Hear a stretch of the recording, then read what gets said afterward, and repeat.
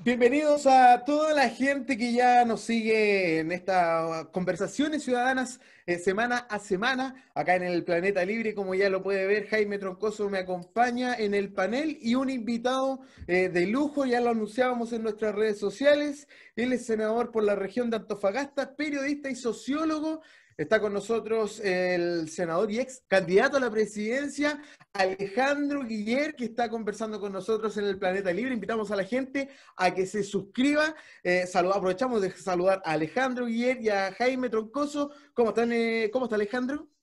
Muy bien, un abrazo a ambos, Braulio, Jaime. y bueno. a las amigas, los amigos que se cuelgan ahí en estas conversaciones como boyeristas porque están observando y no pueden participar. Pero bueno, lo haremos lo mejor posible. De eso se trata. Eh, le damos de nuevo la bienvenida a Jaime Rocoso. Jaimito, ¿cómo estáis? ¿Desde el sur de Chile o no? Todo bien, sí, estamos aquí, seguimos en el sur, seguimos en Osorno. Seguramente la próxima semana ya vamos a ir a. Vamos a volver a la capital. Empecemos inmediatamente, Alejandro. Bueno, eh, yo tengo entendido que usted es del norte, ¿no? Bueno, a propósito, norte, sur y centro. Estamos aquí más o menos representados en el panel el día de hoy. Eh, primero que nada, ¿cómo, cómo, cómo se lleva con esto de la tecnología? Digamos, eh, estar en las sesiones del Congreso a través de la tecnología, eh, nos vino de, golpe, digamos, todo esto del Zoom, del Meet y todo esto. ¿Cómo se lleva con, esta nueva, con esta nueva normalidad, si lo podemos decir de esa forma? Me costó un poquito al comienzo, yo diría las primeras dos o tres semanas, así que tenía algún amigo aquí que me, o, algún hijo que se me ponía al lado y me ayudaba, ah, y después ya me he ido acostumbrando, me he puesto ¿ah? Pero descubrí una herramienta de trabajo. Yo nunca había trabajado tanto, recibiendo a tanta mm. gente, contestando tantas entrevistas, dando tantas audiencias a través de los Zoom y de los contactos así a través de la plataforma digital. Creo que descubrí una herramienta que me permite incluso recorrer todo Chile. En tiempos reales no habríamos podido tener este conversatorio a tres bandas. Hoy día podemos. Yo creo que esto que llegó para quedarse. Fantástico. Sin duda. Sin duda. Ahora, respecto a lo mismo, a ver un poquito hablemos de esto. Eh, seguramente, como dice usted, quedó para quedarse. Eh, muchos trabajos van a empezar, seguramente poco a poco, o algunos más de golpe, a implementar este tipo de, este, este, este digamos, el teletrabajo, el llamado teletrabajo. Sin embargo, eh, antes de, que, viniese esta pandemia, igual había ya un proyecto de ley respecto a esto o, una idea de aquello. Entonces, ¿cómo se puede ver afectado el tema de la precariedad laboral respecto a lo mismo? Digamos, o sea, por ejemplo, si se empiezan a hacer trabajo a través de Internet, eh, ¿quién va a pagar el Internet? Lo tiene que pagar, qué sé yo, el empleador, el empleado. O sea, se abre también, así como hay una realidad que seguramente mejora, también se abren otro tipo de flancos que tienen que ver con eh, el tema de eh, encuadrar los límites de tanto el trabajador como también el, el empleador, ¿no? Bueno, en todas partes, sin duda que el trabajo a distancia va a ganar terreno. Lo importante es que esto esté regulado a través de las leyes laborales precisamente para resolver el tiempo de dedicación, porque una cosa es trabajar de la casa y otro estar 12 eh, horas diarias. Y en segundo lugar, ¿quién provee los equipos y paga los costos de la conectividad? Eso obviamente tiene que ser el empleador. Pero esto ha sido muy bueno porque nos permite conocer experiencias reales. Por ejemplo, todo lo que es la capacitación que va a requerir que la mayoría de los profesionales, porque nosotros podemos conversar acá, pero yo mismo hacer una clase a través mm. de la universidad que sea interactiva, eh, me voy de espalda tres veces antes de atinar. Y además que se preparan las presentaciones de otra manera, el trabajo de los estudiantes de otra manera, hay que buscar nuevas técnicas de diseño, incluso de contenidos para poderlos presentar. Viene un cambio muy, muy, muy grande. Yo creo que lo que nosotros llamamos la revolución en el aula, o sea, la, hay que desde dentro cambiar el sistema educacional, porque hasta ahora las sucesivas reformas son desde fuera hacia adentro. Ahora hay que cambiar la manera de aprender, la manera de trabajar, y eso va a requerir tiempo y mucha dedicación. Y por mm. cierto, leyes muy claras que garanticen los, los derechos y los deberes de los trabajadores, de los estudiantes, de los representantes de la sociedad civil, etc. Mm. Sí, por supuesto, eh, integrar a los empleadores en esto. Eh, con relación al, tema laboral, eh, aquí mismo en el Planeta Libre con Cristel Leporati tocamos el tema en marzo de cómo iba a cambiar el, contexto laboral a partir de esta pandemia que, sigue afectándonos en estos largo tiempo ya. ¿Cómo ve usted en, en, el camino, en tierra derecha, este proceso constituyente? ¿Cómo se puede reflejar en una nueva constitución estos cambios o, quizás esta, esta, esta despabilada, por decirlo de alguna manera, que nos dejó como viendo que estamos super, somos súper precarios en el tema laboral. Eh, ¿Cómo cree usted que se aborda ese tema en este tema constituyente, Alejandro? Mira, lo primero para terminar lo anterior, yo presenté un proyecto de ley y George Jackson había hecho lo mismo desde la Cámara de Diputados, así que tuvimos una reunión, pero claro, se nos vinieron encima otros temas y eso quedó un poquito en suspenso, pero tenemos que recuperarlo, de cómo crear eh, una legislación para proteger al trabajador.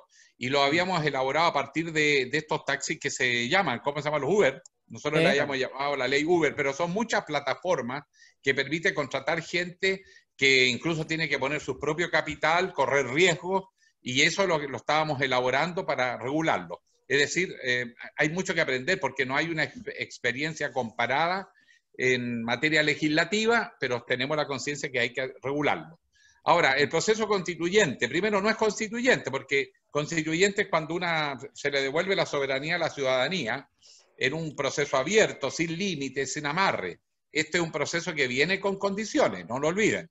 Hay un mm. tercio que puede bloquear los cambios. Claro. Hay eh, además eh, una serie de acuerdos previos que van de alguna manera restringiendo el espacio de los constituyentes.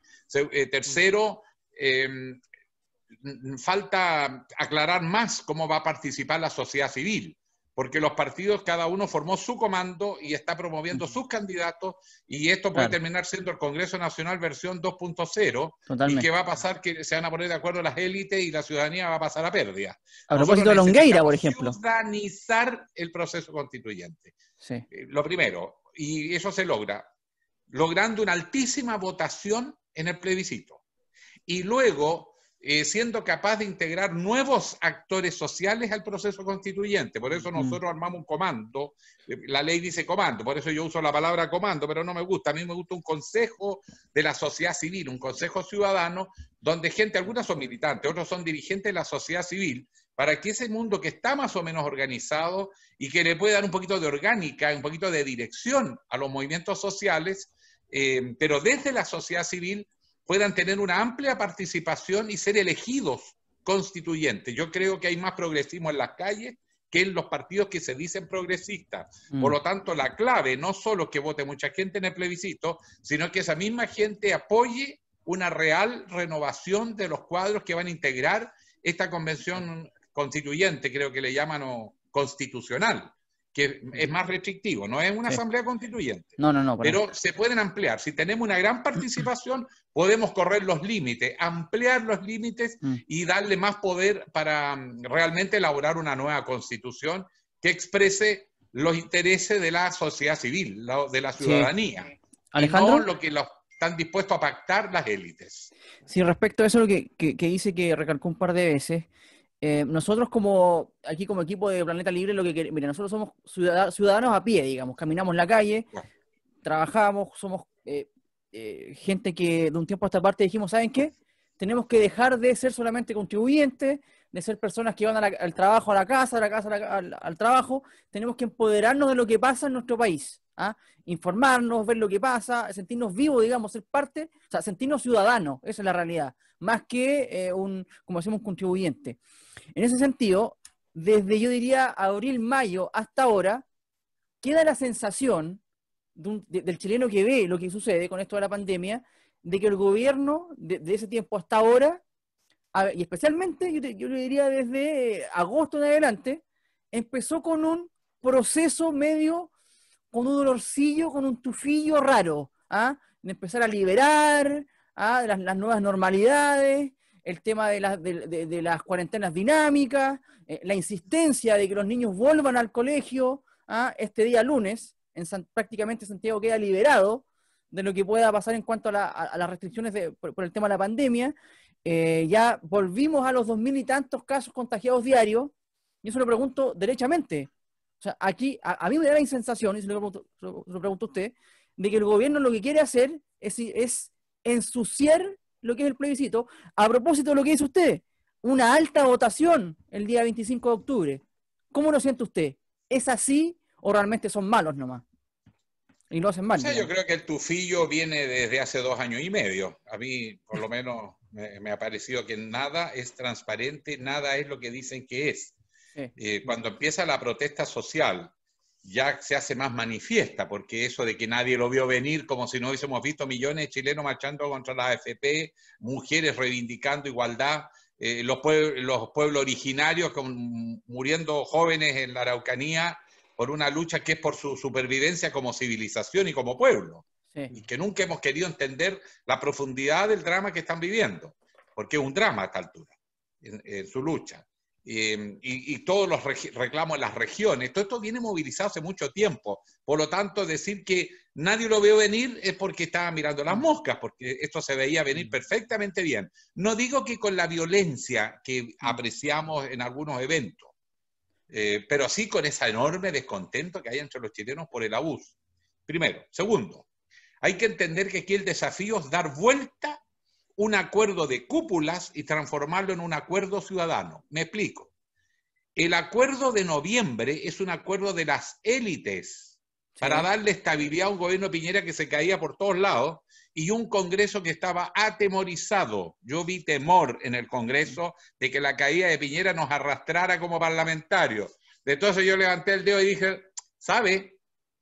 Hagamos anticipo de elecciones, nuevo presidente, nuevo Congreso Nacional y le revertimos de la legitimidad que están expresando las calles de Chile. ¡Pum! Pánico, nadie quiso.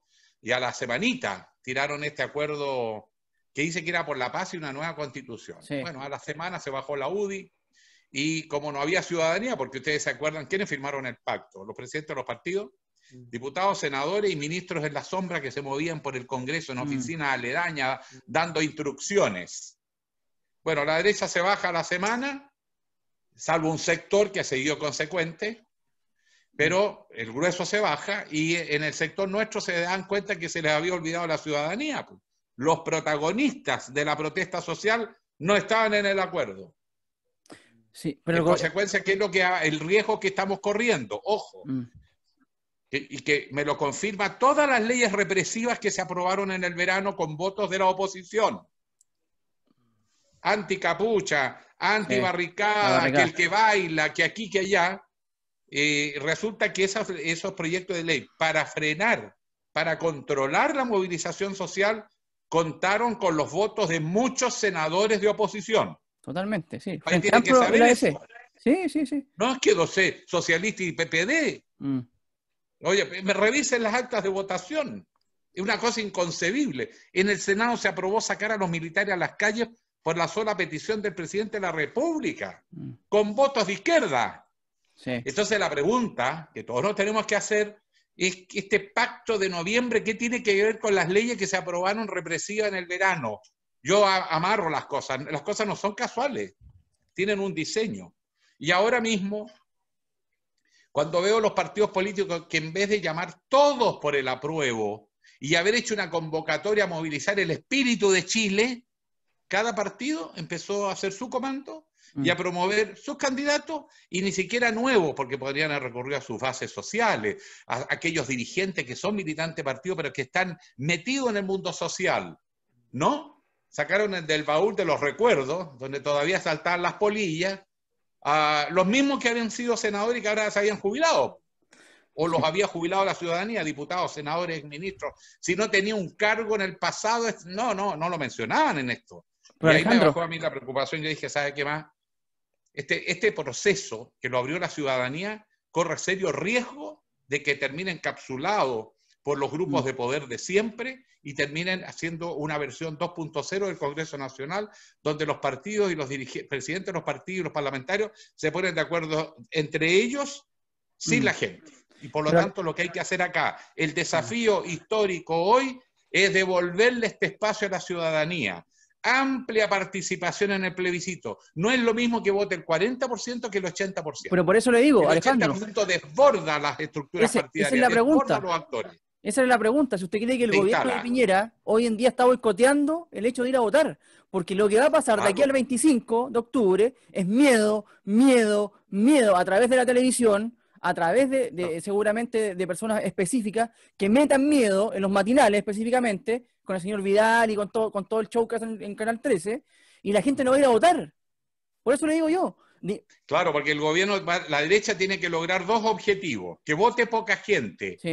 Y segundo, que no aparezca que un triunfo de, nadie, sino que es de todos. Claro. Nosotros también ganamos. Por lo tanto, ese triunfo se diluye. Totalmente. Y si votó el 40%, no es lo mismo que la, no es lo mismo la legitimidad que le da a la, a la convención constitucional como, como es, porque no es una asamblea constituyente, pero le da una legitimidad distinta que si vota el 80% de los ciudadanos. Porque si vota el 80% de los ciudadanos, estos amarres que hay acá saltan. No resisten esa presión de la ciudadanía. Por eso es que hay que promover la más amplia participación mm. ciudadana y luego en el proceso constituyente promover una profunda renovación de los liderazgos que van a integrar mm. esa convención constituyente para que de esta manera la ciudadanía llegue a través de sus representantes directos. Yo confío mucho más en el mundo social, creo que hay más progresismo en el mundo social, en las calles, que en la sede de los partidos políticos. Esa ciudadanía irrumpa ponga sus temas, instale sus temas y con el apoyo de la legitimidad y de la movilización realmente sea un proceso profundamente renovador de los acuerdos, de los consensos y de los principios estructurantes de la sociedad chilena. Pero va a tener que depender mucho de la capacidad de movilizar a la ciudadanía. Mm. para romper las amarras. Un comentario antes de darle la palabra a Braulio que tiene una pregunta igual. Comentario. Claro, usted dice que hay que tener cuidado con eso de que la oligarquía, la casta, nuevamente se apodere del proceso constituyente y de cierta forma lo vaya licuando. Eso yo estoy de acuerdo con usted. Ahora, si fuesen los 90, si fuesen los 90 y se hace un acuerdo como ese, claro, aparece en el Mercurio y listo, no comemos el sapo. Por ahora ya no estamos en los 90. Están las redes sociales, ¿ah? está la comunicación directa de la gente.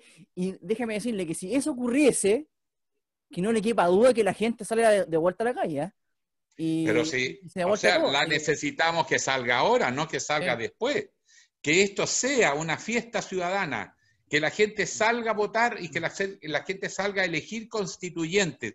No olviden que nosotros hemos presentado el jueves, inauguramos una plataforma que le hemos llamado, no, bueno, la ley dice que es un comando, ¿ah? comando ciudadano, pero en realidad lo que nosotros pretendemos es que sea mucho más un movimiento ciudadano por el apruebo, pero integrado e invitando fundamentalmente a dirigentes de la sociedad civil, sean militantes o no, si no me importa la militancia, pero que estén comprometidos con la sociedad civil, que su actividad pública sea más como representante de la sociedad civil que como militante de un partido, porque eso permitiría que entre gente nueva mm. al proceso constituyente.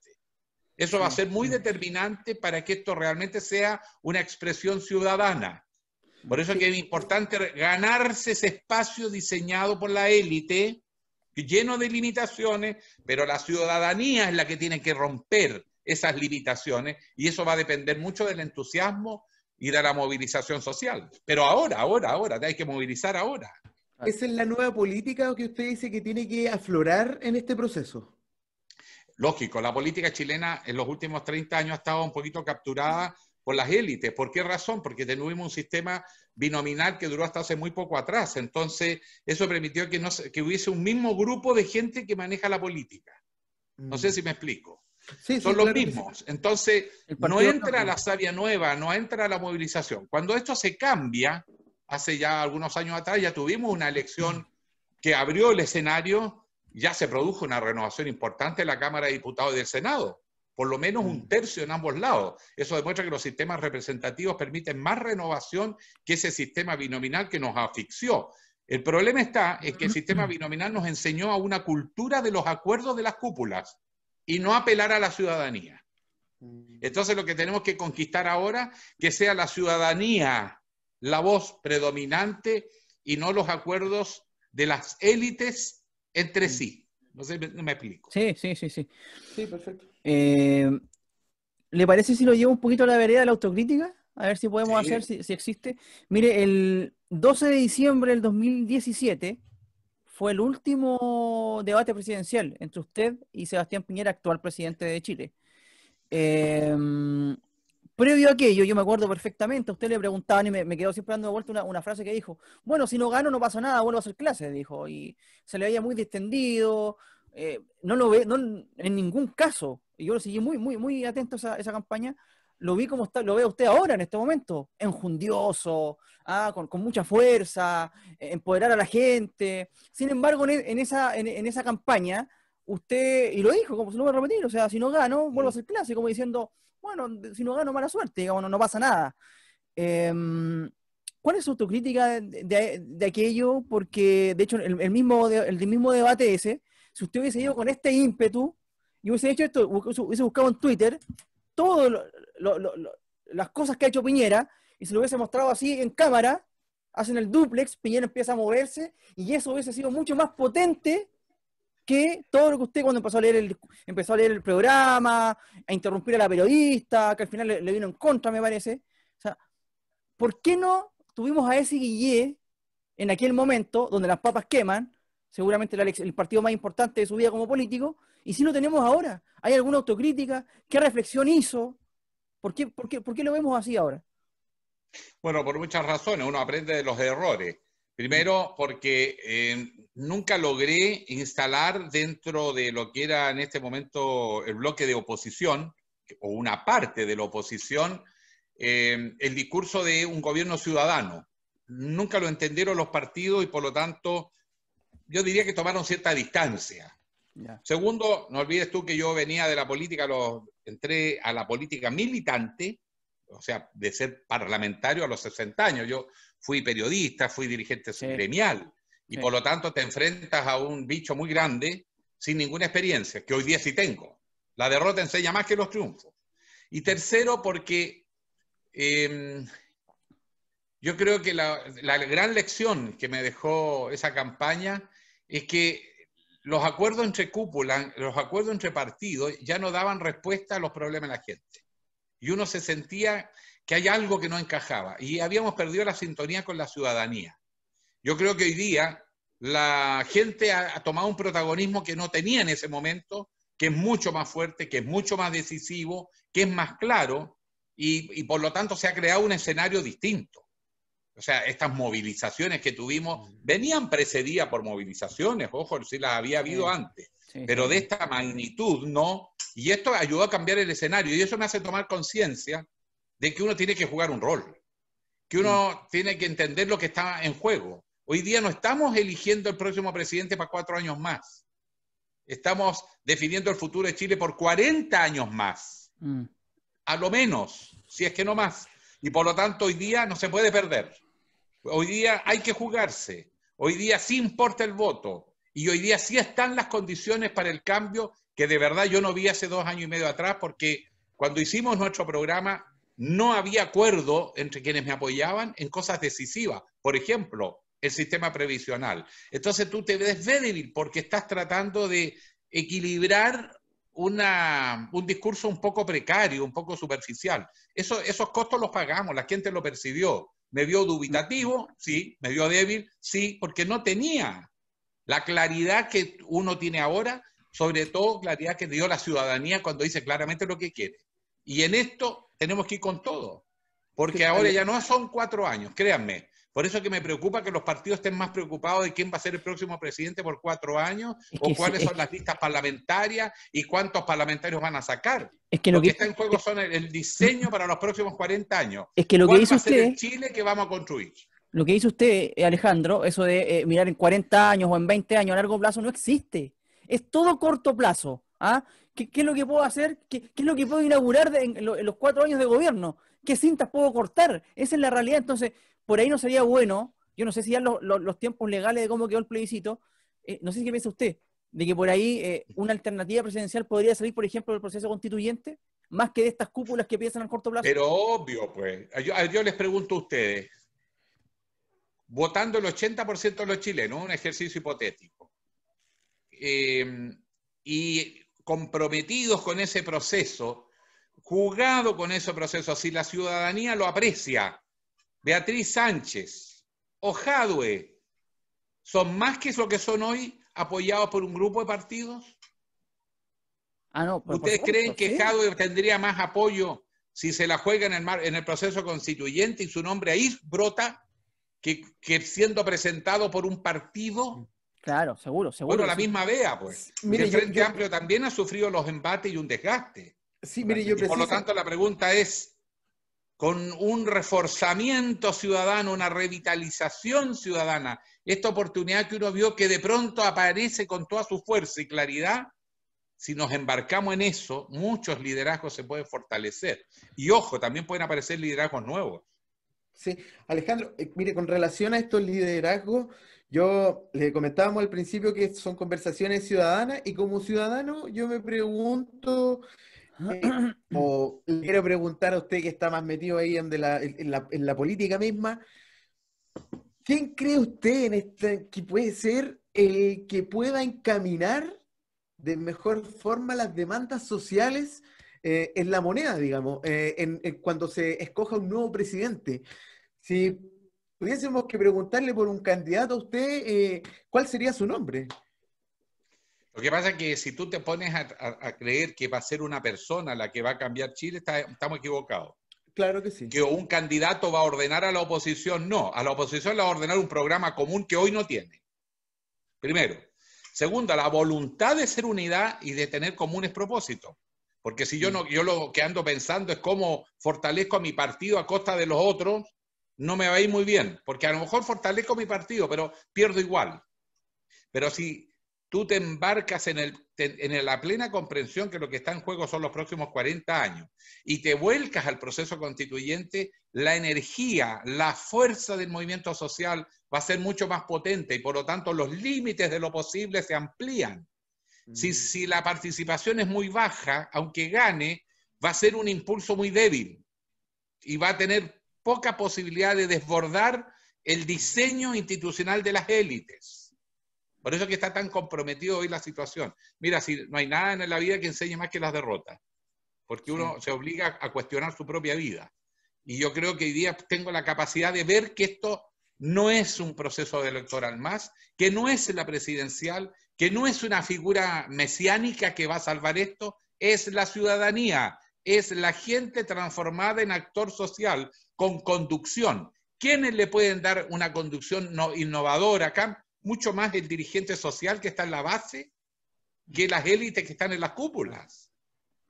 Por eso que nuestro juego es a crear plataformas no para mí, es una plataforma que ponemos a disposición de las organizaciones de la sociedad civil a la que estamos convocando y muchos han adherido y bueno, le vamos a dar un impulso y después vamos a mm. apoyar candidaturas que vengan de la sociedad civil para que participe de los procesos electorales que vienen, pero comenzando con el proceso constituyente. Eso va a marcar el hito principal en el marco del cual se va a desatar una nueva legitimidad social si lo hacemos bien. Mm. Pero si lo hacemos mal, no podemos comprar una derrota de muchas décadas de desconfianza ante la ciudadanía. No podemos fallar dos hablando, veces. Yo por lo menos no puedo fallar dos veces. Hablando de la campaña con todo, sino para qué. Exactamente. Si no está toda la ciudadanía, esto va a ser un acuerdo de cúpulas. ¿Y usted se baja entonces? ¿Usted no, está dispuesto, digamos, a, por ejemplo, ser constituyente? ¿No está dispuesto a liderar este, este nuevo proceso? Lo que pasa es que yo no puedo ser eh, constituyente, porque yo soy senador, estoy vigente y es irrenunciable. Ah, ya, perfecto. tendría que haberse cambiado la ley para que yo hubiese, y habría, se habría dado si hubiese sido un sistema mixto, donde la mitad son parlamentarios y ah, la mitad son elegidos. Bueno, ahí podría haber postulado. Y claro que me habría interesado. Pero la ciudadanía quiere mm. una, quiere, en realidad la gente lo que quiere es una asamblea constituyente, no es esta mm, convención constitucional, que no es lo mismo. ¿ah? Usted, entonces tiene como un punto ahí, eh, eh, un punto como que coincide con Jado, él también ha sido como crítico de este, de este acuerdo, digamos, de hecho cuando se, abrió el Congreso en Santiago para llegar al mismo, y él ha dicho que por ahí no, le, han gustado eh, cómo se hizo, digamos, y cómo se desarrolló. Ahora, pensemos un poquito a futuro. No olvides que yo no adherí al acuerdo de los partidos. en el Congreso voté en contra. Mm. como voté en contra de todas las leyes represivas que mandó Piñera y que la oposición apoyó, mm. casi totalmente. Lo rechacé porque era contra las movilizaciones, no vengan a engañar a la gente. Mm. también los que se dicen de izquierda, el progresismo, está asustada frente a la, sociedad civil porque no responde a, su liderazgo.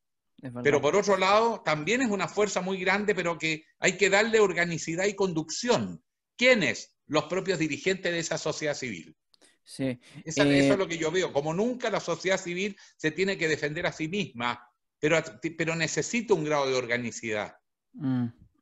Sí, mire, eh, después de este, bueno, digamos, proceso constituyente que se viene, hay una votación ahora en octubre, debería haber otra en abril, ¿no es cierto? Y después otra más para eh, votar la supuesta nueva constitución. Em, ah, ¿Qué Chile piensa usted que se viene? ¿Un, Chile en un proceso conservador, en un proceso reformista o en un proceso revolucionario, post proceso constituyente? Bueno, e, eso es lo que tenemos que crear, porque eso no se va a producir solo ni está predeterminado. Es necesario hacer el mayor esfuerzo por movilizar a la sociedad civil. Mientras mayor sea la movilización de la sociedad civil, más profundo pueden ser los cambios. ¿Le, gustaría un Estado federal, por ejemplo? Donde... No, no, no, porque eso tiene una particularidad que tiene una tradición muy distinta. Eh, pero sí creo un país regionalizado, con gobiernos regionales elegidos por voto popular, con cores empoderados para fiscalizar a este gobernador electo por voto popular, con alcaldes que hagan un real gobierno municipal o gobierno local, porque hoy día son administraciones municipales, y con concejales empoderados, pero también con mecanismos de participación ciudadana en la toma de decisiones del gobierno local y del gobierno regional. Por eso yo soy presidente de la bancada de senadores regionalistas. Es que ¿sabe por qué se lo pregunto? Porque eh, eh, país, Chile es un país largo y angosto, ¿no es cierto? Eh, no sé, usted es del norte, yo soy del sur, nosotros nos, criamos en suelos distintos, en aire distinto, hay lógicas distintas, ocupan palabras distintas, ¿no? Entonces, ¿cómo va a haber alguien desde Santiago que no es del norte ni del sur, y nos va a decir lo que tenemos que hacer nosotros o ustedes, por ejemplo, o cómo distribuir las riquezas que se van este, adquiriendo desde los distintos territorios. Por eso, no sé, le preguntaban un Estado federal donde, por ejemplo, ya existe una constitución ¿cierto? que rija al país, pero que, no sé, pienso, eh, desde eh, Concepción hasta, eh, bueno, desde Concepción hasta, hasta el sur lo máximo, se, partan dos, dos más arriba, que tengan libertades dentro incluso de la misma constitución con lógicas distintas ¿ah? de cómo tratar, por ejemplo, el suelo, ¿ah? cómo tratar, no sé, eh, el tema de la productividad, ¿ah? y que tengan garras realmente, porque claro, ahora se van a elegir gobernadores regionales, pero digamos las cosas como son. A mí me tinca, no sé por qué me tinca, no sé, en base a la experiencia, de que va a ser un cargo más, un cargo más burocrático, más que eh, alguien que realmente pueda tomar decisiones que sean importantes para darle impulso a las regiones y a las ciudades más pequeñas, qué sé yo. Mm. Claro, lo que pasa es que estamos pensando en el marco de lo existente hoy. El proceso constitucional va a permitir eh, definir mejor este proceso de regionalización y de darle más profundidad, más transferencia de poder a las regiones que lo que tiene el proyecto de ley. No olvides que este proyecto de ley de regionalización lo ha iniciado el, el gobierno de la presidenta Bachelet y se ha votado en el Congreso. O sea, el mismo marco institucional empieza como a descentralizarse muy débilmente y parcialmente.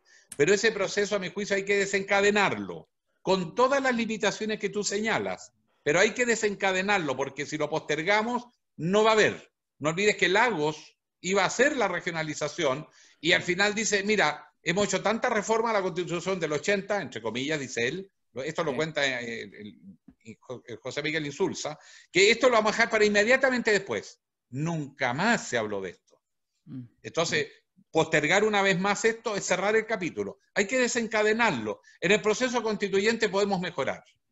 Y ahí podemos hacer una muy profunda regionalización. Mm. Pero también hay que tener un cuidado. Yo vengo de la región más rica de Chile, per cápita. O sea, si tú me dices por habitante, claro, está la minería. Y ojo, eh, la gran revolución de las energías renovables se está produciendo en el norte. La energía eólica, la energía solar, es donde más éxito han tenido. Y mi región tiene en carpeta proyectos por más de 5 mil millones de dólares para ahora. Para ahora. Mm. O sea, vamos a poder dar energía a todo Chile en un corto plazo el desierto de Atacama, que son varias regiones. Pero entonces, ¿qué nos ocurre? Que se te puede distorsionar mucho el país, porque claro, si yo me voy a porcentaje de lo que genera mi región, me puedo transformar en un mini país rico, pero la Araucanía es la zona más pobre de Chile. Mm. Entonces yo entiendo que tiene que haber factores de equilibrio, por ejemplo, fondos de convergencia, donde todas las regiones aportan. Tenemos que crear un sistema que todos los chilenos se sientan responsables, no solo de su región, sino de las demás. Porque además nosotros tenemos mucho más unidad cultural que la que pueden tener países como Estados Unidos, por ejemplo. y lo, último, eh, también es verdad que para nosotros más que una diferencia entre comillas chilenos, es la diferencia entre los, entre comillas, chilenos con pueblos originarios. Esa sí es una diferencia significativa en Chile, que tenemos que reconocer con rango constitucional. Pero además, revisando de, verdad el tema de la devolución de sus tierras, porque la cultura de los pueblos originarios mm. Ve en la naturaleza su espacio, eh, su espacio de vida. ¿Autonomía? No es un medio de cambio, es un valor en sí, es un valor simbólico. Eh, fuera de ese ambiente no existe su mundo. Y ese mundo está siendo dominado por las forestales, por el arrebatarles el agua, por intervenir en sus formas de vida y en consecuencia una lucha por la supervivencia. Ahí es donde nosotros tenemos que poner énfasis, porque ese es el tipo de divisiones que a nosotros nos tiene más complicado que el tema territorial mismo. Cortito, Alejandro, ¿usted está de acuerdo con, la, autonomía del pueblo mapuche, por ejemplo? Claro, por supuesto, pero si hay países que lo han resuelto, ¿por qué nosotros no podemos? Pero ojo, esto pasa por respetar su modo de vida, su cultura, sus valores y sus creencias. Y la base de ese mundo son sus tierras, no cualquier tierra, sus tierras. Alejandro, agua. Alejandro, nos queda un minuto. La invitación a la gente para este proceso que va, estamos a puertas de, ir a votar y tenemos que ir a votar. ¿eh? El voto es importante. Sí.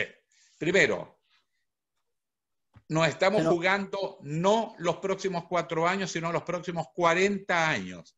Esta es una oportunidad que tiene una serie de trampas y de barreras. Pero ojo, si hay una masiva presencia ciudadana en el, en el voto del apruebo, ojalá un 80% más, y si de luego hay una masiva participación ciudadana en el, en el proceso constituyente, podemos cambiar la historia a mm. favor del pueblo chileno. si nos quedamos en la casa, los mismos de siempre van a coaptar ese proceso constituyente y vamos a quedar en las mismas, con un yo sé que hay muchos que son escépticos. Este proceso constituyente fue y nace de un acuerdo de las cúpulas políticas.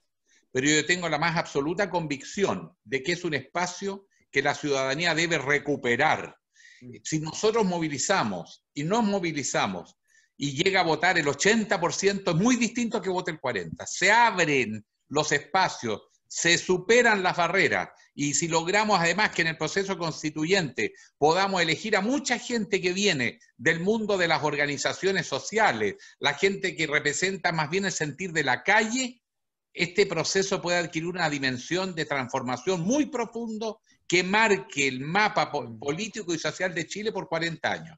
Es necesaria una masiva participación en el apruebo. Eso va a depender y va a dar la fuerza y la profundidad del cambio. Y luego hay que elegir a representantes de la sociedad civil, gente que viene incluso de partido o que son independientes, pero que están comprometidos con la base civil, con los ciudadanos de a pie. Esa es la gente que va a llevar la voz de la ciudadanía al proceso constituyente y puede, con la fuerza ciudadana, superar las barreras, eliminar las trampas y todos los obstáculos que pueda presentar la élite para evitar que haya realmente un cambio significativo. En los procesos históricos, una vez que se abren, muchas veces se desencadena una enorme energía de cambio y de transformación. Yo creo que hoy tenemos una oportunidad inédita en más de 200 años. Es el momento que muchas generaciones han soñado. Está en nuestras manos lo que hagamos con esta oportunidad.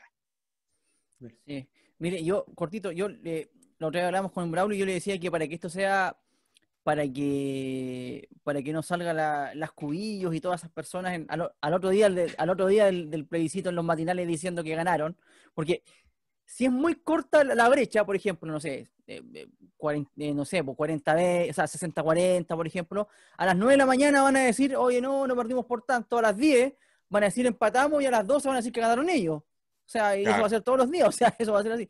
Yo le decía al Braulio que para mí lo mínimo debería ser 70-30, ojalá 80-20. Se la jugaría con un porcentaje, ¿no? Ideal. ¿Me la pruebo? Yo creo que va a votar mucha más gente que la que ha votado en las elecciones tradicionales de tipo presidencial o parlamentaria o municipal en Chile. Va a haber mucha más votación. Pero es importante que la gente tome mística y que se dé cuenta que mientras más voten, mayor va a ser el triunfo y nadie se lo va a poder arrebatar a la ciudadanía. Y después, en el proceso constituyente, es necesario elegir gente nueva, gente que venga de las organizaciones sociales, porque hay más progresismo en las organizaciones sociales o en la calle que la que hay en, este momento en la sede de los partidos políticos. Así que esto va a depender mucho del volumen, del número de gente que participe y, por cierto, si vota mucha gente, la diferencia a favor de la prueba va a ser mucho más grande. Si mm. vota la mitad de la gente, el rechazo va a ser proporcionalmente más estrecho. Por eso eh, la necesidad de motivar a participar, porque tenemos la historia a punto de estar en nuestras manos, pero depende de nosotros. Pero jueguesela, pues jueguesela con un porcentaje que le gustaría. Que, si vota sobre el 70% va a ser 80-20. Si vota menos, se va a reproducir mm. más o menos los porcentajes que se dan en las elecciones generales. Porque la derecha no se confundan. La derecha no, no, está jugando realmente para que gane la prueba lo que mm. quiere es relativizar el triunfo de la prueba y después bloquear en el mm. proceso constituyente con un tercio, les basta para bloquear. Por eso que es importante la unidad, la masividad, y mientras más gente participa, más grande va a ser el triunfo de la prueba y más grande va a ser el triunfo en la elección de los constituyentes. Alejandro eh, Guillén estuvo conversando con nosotros acá en Planeta La última, cortita, la última, que no tiene nada que ver con esto, pero igual. La última, ahora sí, cortita. a propósito, dale. Oiga, ¿usted, ¿usted le tiene miedo a los fantasmas o no, Alejandro? Yo creo que el peor fantasma es uno mismo. Sí. Y por lo tanto hay que aprender a, superar nuestras propias debilidades y a sobreponerse y a crecer cuando tu país te lo pide. Es que sabe Yo creo que este es un momento para que todos los chilenos podamos crecer, eliminar los miedos y confiar en que este es un país maravilloso mm. que tiene una gran oportunidad. Yo tengo mucha confianza, estoy muy contento y por eso estamos participando, ayudando a crear espacios para que la mm. sociedad civil, los dirigentes de base tengan un activo rol en el proceso constituyente. Creo que ahí está la clave del triunfo del espíritu de octubre. Oiga, es que yo le, le hacía esta pregunta fuera del ámbito político. Le se lo preguntaba porque aquí somos muy futboleros, ¿no es cierto? Entonces, y como Colo Colo ya se le apareció el fantasma de la B, le, quería, preguntar, si tenía miedo a los fantasmas, por eso, por eso. Espera el momento. La pandemia se está llevando al Colo. Vamos a tener que llegar a la UTI para ponerle respirador artificial, maestro. Por favor. No, no era eso. Nada más. Sí, no, hay Braulio Colo así que... Alejandro. No, es como el pueblo chileno, se va a levantar como la mítica ave fénix, se va a levantar de su ceniza y surgirá el albo ganador que el pueblo chileno espera. Pero hay que movilizar a la ciudadanía y eso moviliza con los colos, tranquilo, vamos, vamos. Perfecto, De atrás pica el indio, de atrás pica el indio, así que. Exactamente, Alejandro, tranquilo. Jaime, un abrazo, muchas gracias por muchas esta gracias, conversación. Nos vemos. Chao. Muchas gracias, a ustedes, Jaime. Hasta la próxima. Chao, chao. también, Braulio. Gracias.